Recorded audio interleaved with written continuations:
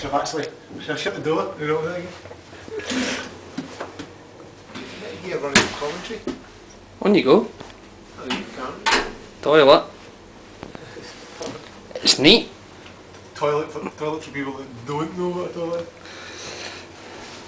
Bath.